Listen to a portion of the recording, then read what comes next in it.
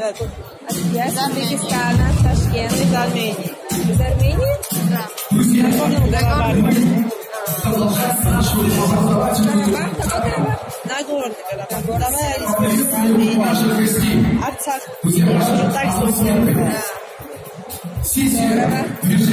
конечно, здесь. Нет. Это делегация. А, хорошо.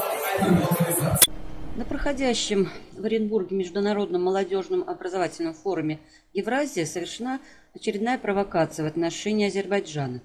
Для участия в различных образовательных и творческих площадках форума в Оренбург собрались 800 молодежных лидеров из 77 стран, около 100 экспертов-спикеров, политиков, общественных деятелей, почетных гостей и 180 волонтеров.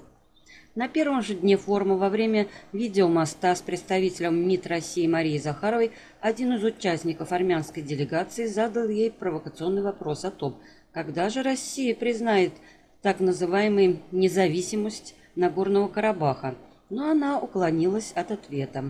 Принимающий участие на форуме Евразия участник от Азербайджана, глава Международного департамента общественного объединения «Бакинский клуб молодежи», член правления Национального совета молодежных организаций Азербайджанской республики Сабир Рустамов сообщил, что представители армянской делегации занимаются провокацией, подстрекательством и своими действиями создают серьезные предпосылки для возникновения конфликта с участниками из Азербайджана.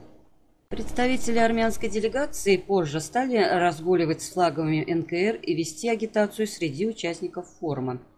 Видя эти провокации, мне пришлось связаться с организаторами форума, разъяснить им ситуацию. У представителей армянской делегации отобрали флаги НКР, им также сделали предупреждение, чтобы они воздержались от провокаций. Насколько я мог узнать, большинство участников армянской делегации прибыло из Карабаха. В рамках форума состоялись спортивные состязания, в одном из которых выиграл представитель армянской делегации – и в ходе вручения ему приза он с гордостью заявил, что приехал из Карабаха. Об этом сообщил Рустамов. Сабир Рустамов также оповестил о провокационных действиях армянской делегации Министерства молодежи и спорта, а также посольства Азербайджана.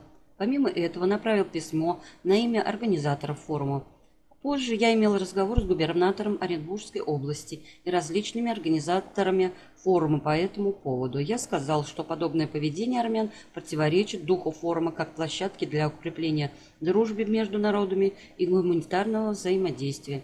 Они принесли мне извинения и заверили, что не допустят продолжения провокаций против Азербайджана, отметил Рустамов. Представитель также указал на высокий уровень подготовки делегации Армении к этому мероприятию. В рамках форума открылся армянский двор. Здесь демонстрируются азербайджанские инструменты музыкальные, тар, сас, нагары и другие, которые выдаются за армянские, сообщил он. Редакция смогла получить видеокадры того, как одна представительница армянской делегации говорит, что она приехала из Армении, а после уточняет, что она из Нагорного Карабаха. Иными словами, Нагорный Карабах они представляют как часть Армении. Кроме того, из ее слов становится ясно, что на форуме участвует целая делегация из Нагорного Карабаха. Вот такую провокацию армянскую сумели вовремя пресечь